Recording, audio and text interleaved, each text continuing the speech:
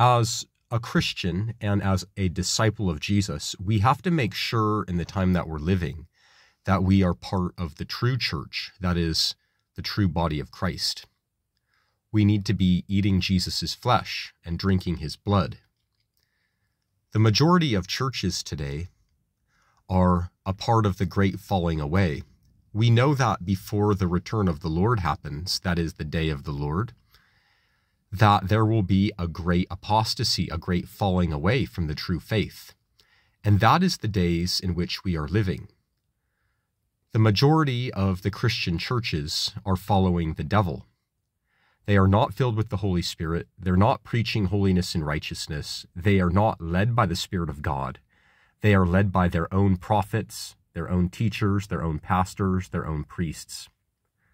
They follow the precepts of men and although they have what appears to be a form of righteousness, they deny the power of the Holy Spirit. We need to make sure that we are separate from these false organizations. We need to make sure that we truly are part of the body of Christ. Are we part of his body? That spiritual body that follows the Lamb wherever he leads? Or are we a part of the brick and mortar dead religion? May the grace of Jesus be with you.